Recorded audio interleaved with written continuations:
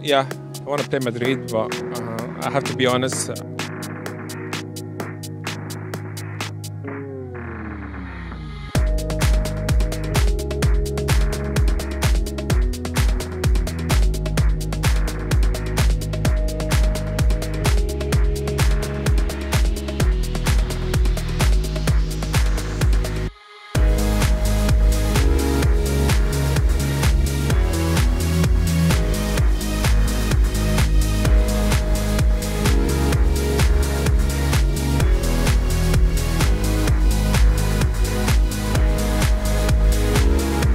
Yeah, I want to play Madrid, but uh, I have to be honest. Uh, City is a really tough team. We play against them a few times this season, but I think it's. Uh, if you ask me personally, I would prefer Madrid.